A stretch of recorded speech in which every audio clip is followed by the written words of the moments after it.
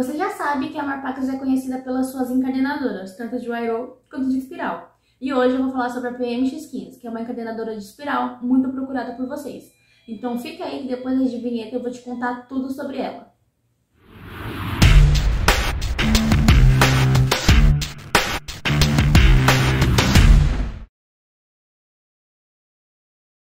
Bom, essa encadenadora de espiral, ela é pequena e compacta, como vocês podem perceber. Ela pesa apenas 6 kg e é ótima para você que tem um ateliê pequeno.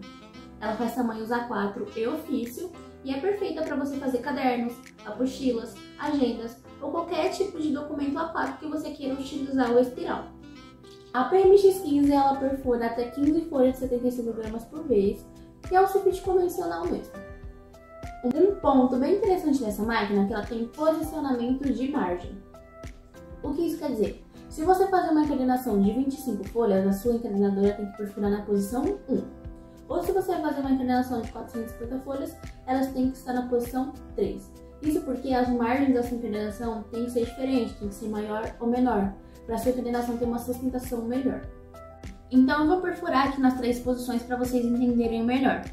A minha máquina ela já está na posição 1, a minha folha já está encostada aqui no margeador, e é só abaixar o braço.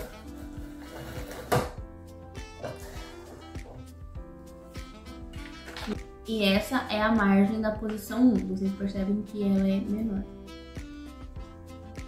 Aqui nós já estamos na posição 2, mesma coisa. Vou usar na margem, posicionei aqui atrás para baixar o braço.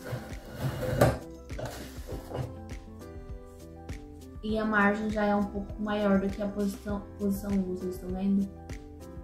E por último, a posição 3, que é a maior margem no caso.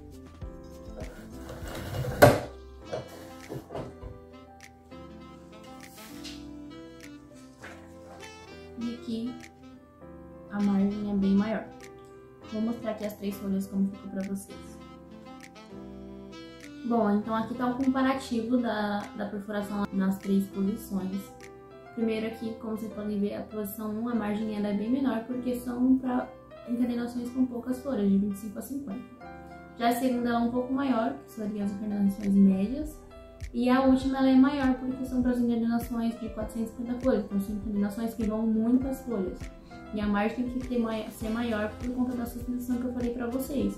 Corre menos risco das suas folhas acabarem rasgando.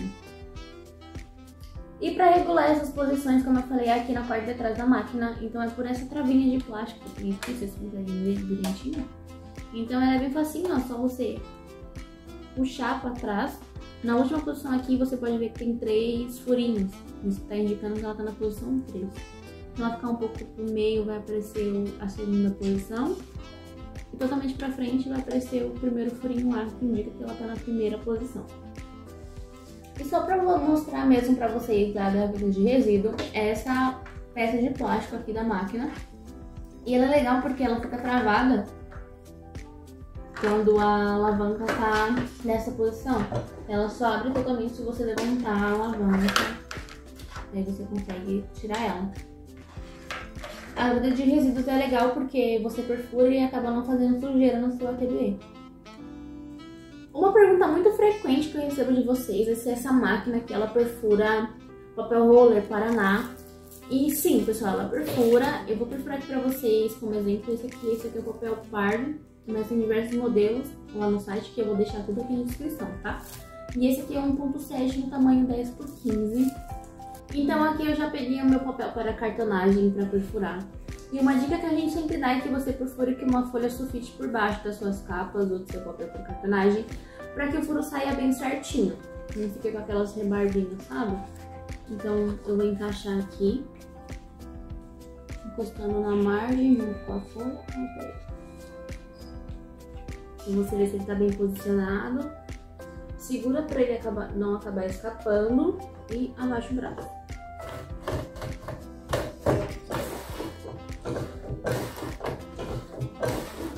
Se você puder abaixar mais uma vez, só para garantir que não fique as rebarbas, é bom também. Então fica assim. Perfura perfeitamente, vocês podem fazer tranquilo aí na casa de vocês.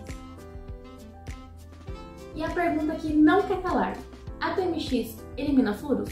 A resposta é não, pessoal. Essa encadenadora não elimina furos. você não pode fazer isso com ela. E caso você faça por conta própria, você acaba perdendo a garantia. Pessoal, uma questão bem interessante desse equipamento é porque ele realmente é um investimento. É uma máquina excelente para você que está começando no mundo da encarnação, por ela ser simples, menor. É, você pode adquirir ela e ela te dá várias possibilidades de trabalhos, como eu havia dito antes, cadernos e agendas. Você pode até pensar em abrir sua gráfica rápida e iniciar no mundo da encarnação sem medo.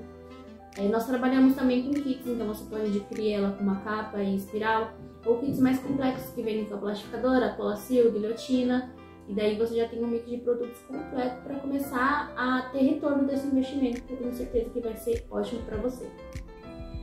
Então foi isso, pessoal. Eu espero que vocês tenham gostado da nossa máquina, tenham gostado desse vídeo.